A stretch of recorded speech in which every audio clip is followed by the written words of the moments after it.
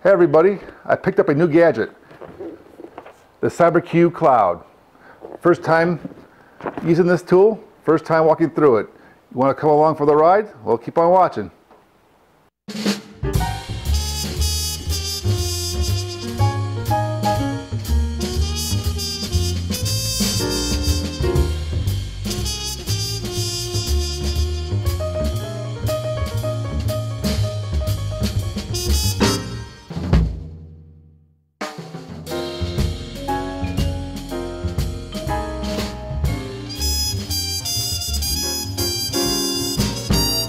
Yes, I did cave. I got a CyberQ. Of, from, from some of you who've, who've been telling me for years to get one, I'll love it. I never thought I needed one, and I still don't think I need one. I mean, I have a, a ceramic Kamado. Those things can dial in and lock into a temperature and hold it for hours on end, and it doesn't phase me one bit, and I can walk away but not leave the house necessarily, but I can walk away and go to bed, watch TV, do other things around and not care too much about watching the grill that often, right? It was beautiful. It still is beautiful. I don't need a CyberQ. I just want one. Oh, actually, I do want one, but uh, it was only because I my, my current temperature probe, my Maverick ET732, uh, annoyed me for the final time after many years of loyal usage. I got tired of having to buy new replacement probes all the time and have it flake out on me um, unexpectedly and give out you know these little LL readings and other things on there that were just like annoying and would come and go and just it was just frustrating at times to uh, to have to depend upon just that. And also that Maverick also only has one temperature probe and one pit probe, and this CyberQ has three food probes, three of them. I can and and I can do and I've done up to seven uh, pork butts at one time before, and it's not uncommon for me to do three for example, and it would be nice to have three separate probes telling me what the three separate temperatures are inside each of these pieces of meat. And this CyberQ can do that. It's also Wi-Fi enabled, like my Maverick uh, was only, it was wireless, not Wi-Fi, big difference. Wireless, it had about a 300 foot range. It, it, can go from one side of my house to the other and I can still get a signal most of the time. Uh, but now with the Wi-Fi, I, uh, and it being uh, port forwarded out on the web and on the internet, I can be anywhere and have my phone in my hand or a laptop or an office computer or, or a friend's phone or whatever. Wherever I'm at, I can pick up a phone uh, with a data connection that is and punch in a website, check on the progress of my cook, and I can even record it. This thing can chart your cook from, from time and temperature all the way across um, your entire cooking cycle and you can see where your highs and lows were and how well your grill behaved. I thought that was neat. Again, not necessary, not a necessity, but it is a nice thing to have. So the parts that come included in this thing are, are all I needed, but it only came with one food probe, and I, I told you just a minute ago I wanted to get three food temperatures going, so I had to buy a couple additional probes, so it cost a little extra money, but I got all of this set up. I got the wireless, or the Wi-Fi again, sorry, uh, the Wi-Fi working on this thing. It's set up on my phone, my, my uh, iPad, my computers, and I can monitor this thing from everywhere. So I am ready to start a test cook. And, and for my test cook, I chose a pair of spare ribs. Why? Because they were in my freezer and I didn't want to go to the store and buy anything else. And it's only a five hour cook and not a 14 hour cook.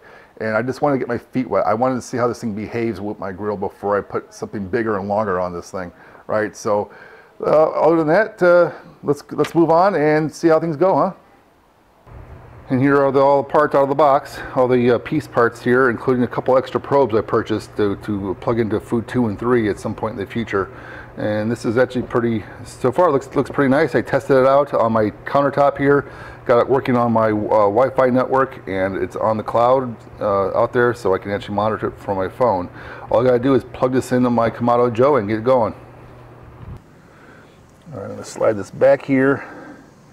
Now it's supposed to fit in here like this, and this clip is supposed to go on it like this. So uh, you insert it like this.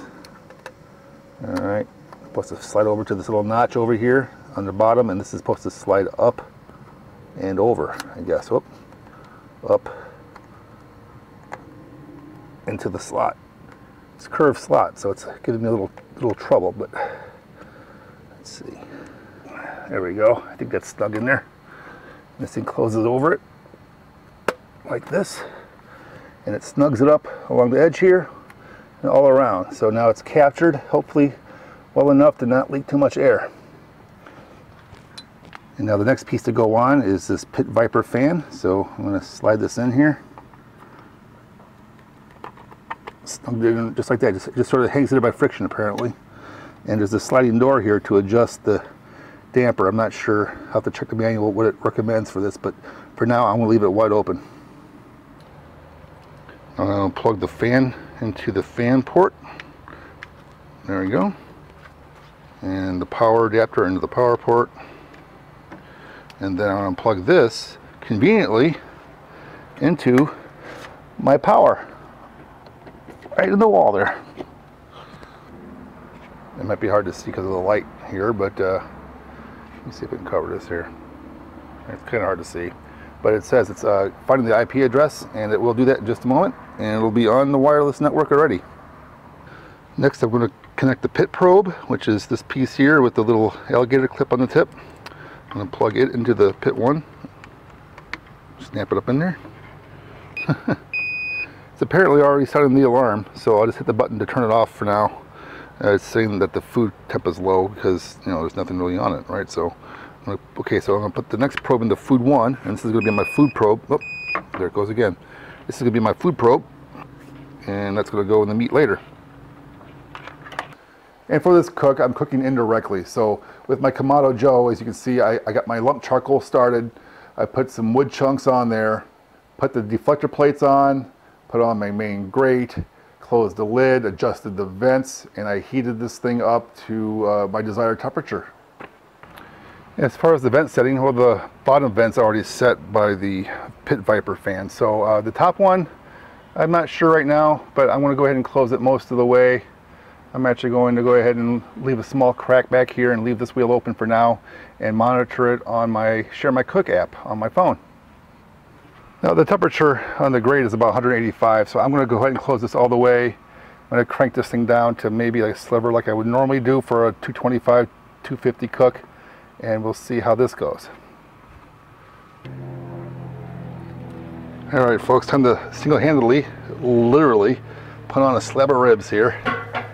All right, move that closer to the probe and make room for my rib tips next door here. So go ahead and let that go and monitor it via the Share My Cook app.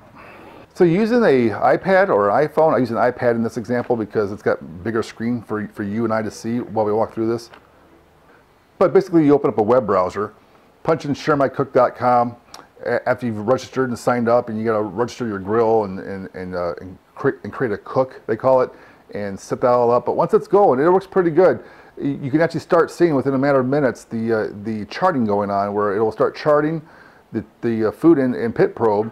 And you can watch it slowly like creep up over time towards my 250 degree uh, uh, goal and it you know it, it, and as it got there it, it tapered off. It, it, rose a lot. The fan was whirring 100% like a, for a very long time to get this thing heated up. And when it heated up got to about 250 it tapered off. It slowed down like it should. The fan slowed down, the fan ultimately shut off, and it overshot a few degrees, 255 degrees. I'm not complaining.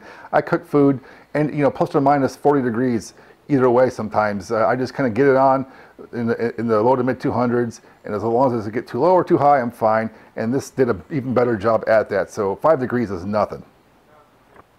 And you can see on my chart as the as I've opened the lid and closed the lid, you, you, see the temperature spikes being recorded there, right? And, and even when I put the food probe in, the food probe was just hanging loose on the grill in the 90 degree weather.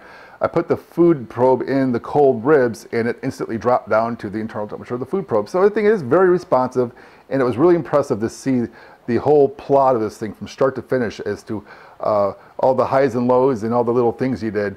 And in case you ever get a blip or, or something happens that, that you want to record, they have like a little notes area where you, where you can add a note at a certain point. So you go, oh, well, what's that spike or drop there? You say, oh, I added a note. So I opened the lid and it got hot because I was taking too long putting on some, some other dish or something alongside the ribs. Who knows, right? It was really cool to see. And in summary, I liked it.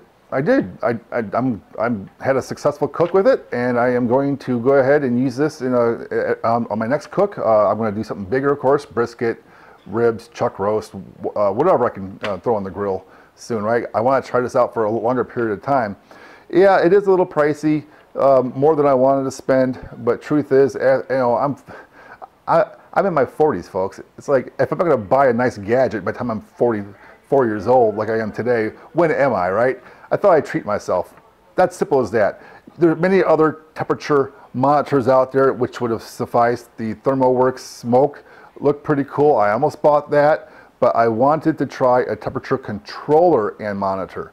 And uh, so that's why I went with the CyberQ. So far, I'm happy with it. I'm going to do some more videos and some more cooking for sure on this thing. Uh, this video was just my first time using it, getting just getting acquainted with it, and I wanted to share that with you folks. So I hope you appreciated this video. If you did, give it a thumbs up. If you haven't subscribed, please, please subscribe, and I will talk to you all next time. Thanks for watching. Thanks for watching. Be sure to check out other videos on my YouTube channel, and don't forget to subscribe.